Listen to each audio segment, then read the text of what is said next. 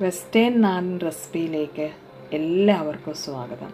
എല്ലാവരും സുഖമായിട്ടിരിക്കുന്നെന്ന് കരുതുന്നു. ഇന്ന് ഞാൻ ഉണ്ടാക്കുന്നതൊരു മാമ്പഴ പുളിശ്ശേരിയാണ്. മാമ്പഴ പുളിശ്ശേരിക്ക് രുചിയായിട്ടുണ്ടാക്കാനായിട്ട് ശരിക്കും കാട്ടുമാങ്ങ ആണ് വേണ്ടത്. കാട്ടുമാങ്ങായിക്കാവുമ്പം അതിന്റെ നാര് വളരെ കൂടുതലായിരിക്കും. പിന്നെ വേറൊരു കാര്യം ശ്രദ്ധിക്കേണ്ടത് ഈ മാങ്ങ നമ്മൾ പൊളിച്ചാണ് എടുക്കുന്നത്. നമ്മൾ തൊലി കളയുന്നത് കൈയും കൊണ്ട് തന്നെ അതിന്റെ തൊലി പൊളിച്ചാണ് എടുക്കുന്നത്. അങ്ങനെയാണ് രുചിയായിട്ട് നമുക്ക് മാമ്പഴ പുളിശ്ശേരി ഉണ്ടാക്കാനായിട്ട് പറ്റുന്നത്. ഇവിടെ നാല് മാങ്ങ ഞാൻ എടുത്തിട്ടുണ്ട്. ഇതിവിടെ കിട്ടുന്ന ഇങ്ങനെ ശരിക്കുള്ള ഒരു കാട്ടുമാങ്ങ ആണ്. ഈ നാലെണ്ണം ഞാൻ പറഞ്ഞതുപോലെ തന്നെ കൈയും കൊണ്ട് തൊലി പൊളിച്ച് റെഡിയാക്കിയിട്ടുണ്ട്.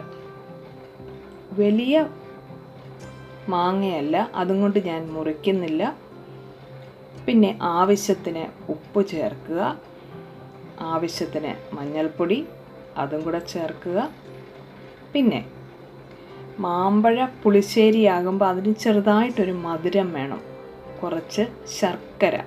ഞാനിവിടെ ഒരു ടേബിൾ സ്പൂൺ ശർക്കരയും കൂടിയാണ് ഇതിലേക്ക് ചേർക്കുന്നത്. ഇതിന് ശേഷം നെകക്കെ വെള്ളമൊഴിച്ചിട്ട് നമുക്ക് ഇതൊന്ന് വേവിച്ചെടുക്കാം. അതാണ് ആദ്യത്തെ സ്റ്റെപ്പ്. ഒത്തിരി വലിയ മാങ്ങയാണ് ഉപയോഗിക്കുന്നതെങ്കിൽ അത് മുറിച്ചിടുക. ശരിക്കും ശരിക്കും രുചിയായിട്ടുണ്ടാക്കണമെങ്കിൽ ഇതുപോലത്തെ തന്നെ നല്ല ഫൈബറുള്ള മാങ്ങ തന്നെ വേണം. അത് നമുക്ക് വേവിച്ചെടുക്കാം. പിന്നെ ഇതിൽ അരയ്ക്കാനായിട്ട് വേണ്ടത് തേങ്ങ ജീരകം മഞ്ഞൾ ഉണക്കമുളക് പച്ചമുളക്. മൂന്ന് പച്ചമുളക് മൂന്ന് ഉണക്കമുളക്. ഈ മാമ്പഴ പുളിശ്ശേരി ഉണ്ടാക്കുമ്പോൾ നമ്മൾ സാധാരണ ഉള്ളി അരയ്ക്കുന്നതിൽ ചേർക്കത്തില്ല. അതൊരു വ്യത്യാസമാണ്.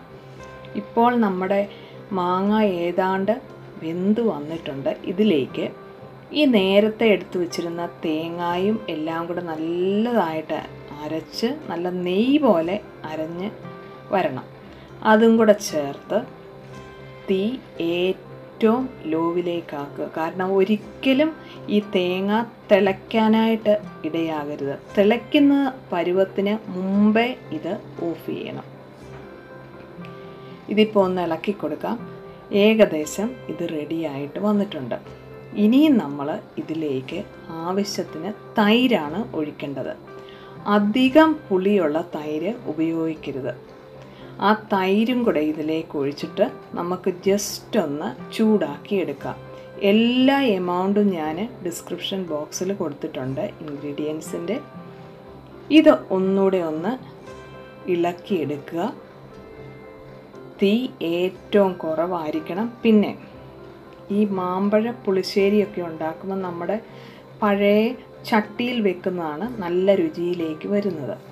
ഇപ്പോൾ ഇവിടെ നമ്മുടെ കറി പുളിശ്ശേരി റെഡി ആയിട്ടുണ്ട്. ഇനി നമുക്കിതിന്റെ കടു വറുത്ത് ഇതിനകത്ത് ഇടുന്നത് എന്തൊക്കെയാണെന്ന് നോക്കാം. ഇങ്ങനത്തെ കറികൾക്ക് എപ്പോഴും നമ്മൾ ഉപയോഗിക്കുന്നത് വെളിച്ചെണ്ണയാണ്. പിന്നെ ഉലുവ ആവശ്യത്തിന് കടുക് പിന്നെ വേണ്ടത് വത്തൽ മുളകാണ് വത്തൽ മുളക് കറിവേപ്പില ഇതെല്ലാം കൂടെ നമുക്കൊന്ന് മൂപ്പിച്ചെടുക്കാം.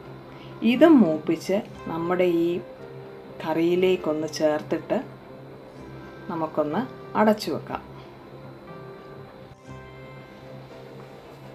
ഇപ്പോൾ നമ്മളുടെ കറിവേപ്പില കടുക് ഇതെല്ലാം നല്ലതായിട്ട് മൂത്ത് വന്നിട്ടുണ്ട്. നമ്മൾ റെഡിയാക്കിയ മാമ്പഴ പുളിശ്ശേരിയിലേക്ക് ഇതും കൂടെ ഒഴിച്ചു കൊടുക്കുക. എന്നിട്ടൊന്ന് ഒന്ന് ഇളക്കുക. എന്നിട്ട് അടപ്പും കൊണ്ടൊന്ന് അഞ്ച് മിനിറ്റത്തേക്കൊന്ന് അടച്ചു വെക്കുക. ചോറിന് കൂട്ടാൻ ബെസ്റ്റാണിത് ഇഷ്ടപ്പെട്ടെങ്കിൽ ലൈക്ക് ചെയ്യുക. ആദ്യമായിട്ട് കാണുന്നവർ സബ്സ്ക്രൈബ് ചെയ്യുക. Thanks for watching